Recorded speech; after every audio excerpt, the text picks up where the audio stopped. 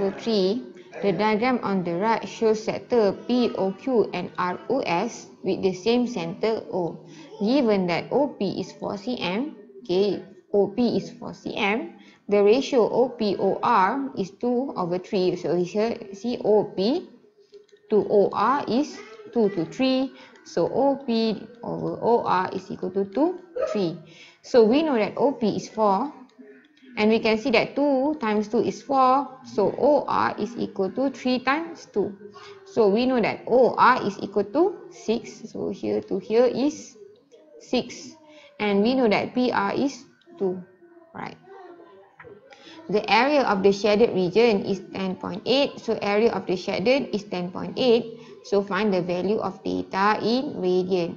So here we need to know what formula. So how to get the area of shaded region. So area of shaded region is equal to area of the large sector ROS minus area of the small sector POQ. POQ.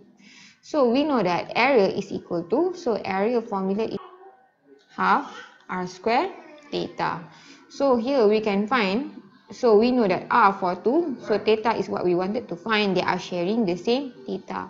So this one minus this one is equal to 10.8. So area is equal to half. Area of ROS.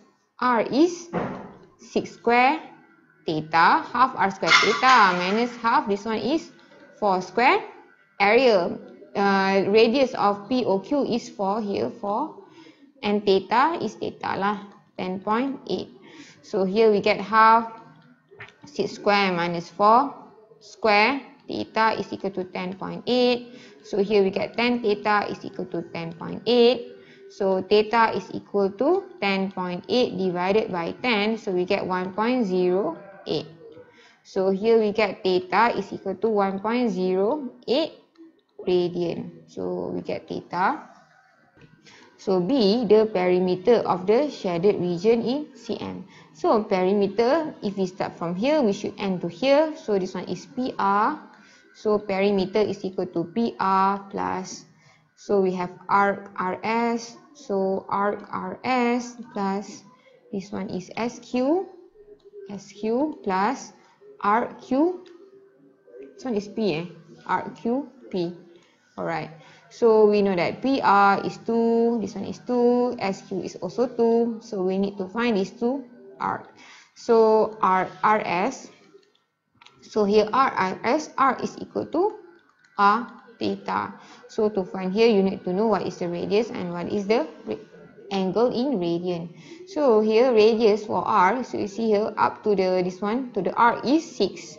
So 6 and theta is 1.08. So we get 6.48.